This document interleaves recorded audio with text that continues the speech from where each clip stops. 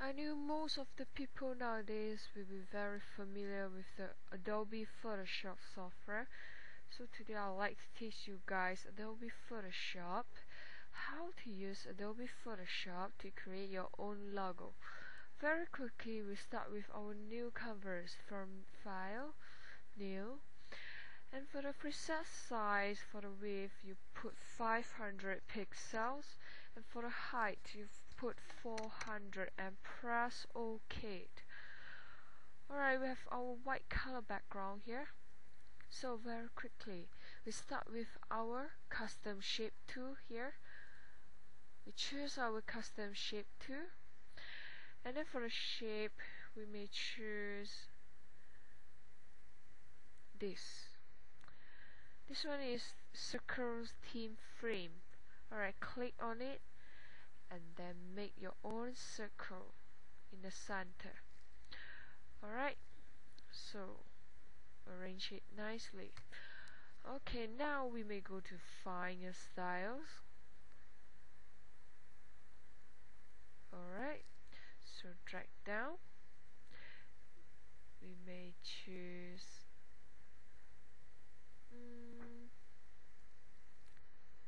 gunmetal nope Nope. Alright, we have found one. This is Chrome button. Okay. So continue. Okay, we have our layer here. We click on the first layer and then create an, another new layer. Okay, from the new layer here you you won't see anything because it's transparent. From here we go to elliptical marquee tool okay make a selection. And then go to paint bucket tool and we may choose blue color. And fill in in the selections. Alright so now we have our background here. So we may drag the layer 1 to here. Alright we may deselect the selection first then we drag. Okay it's behind right now. Okay. Alright guys after that we fill in our photo our paint bucket here. We may choose the text tool which is um, our text here so um I would like to use one picture to represent my logo. Mm, Alright, I have found one.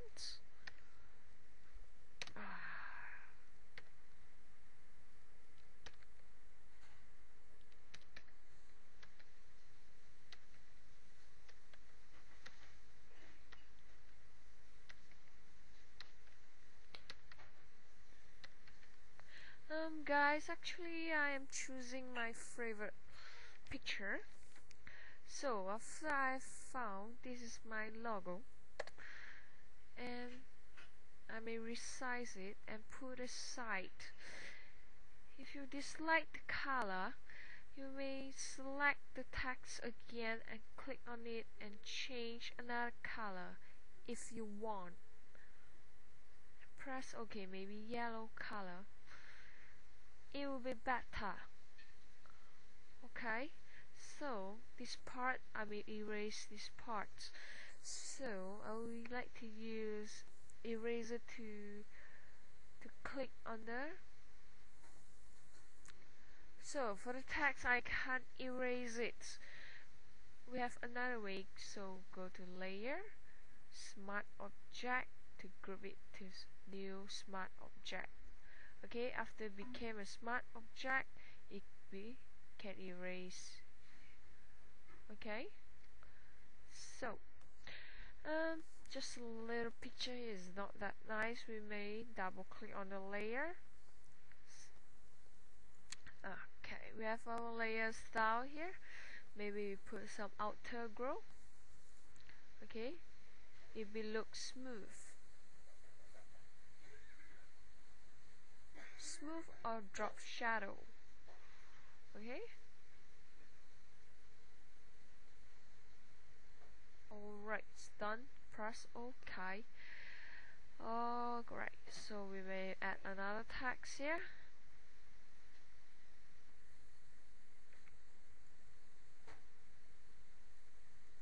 Choose another font style. Maybe Angela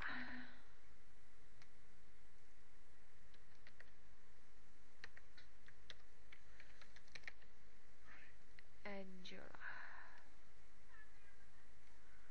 okay?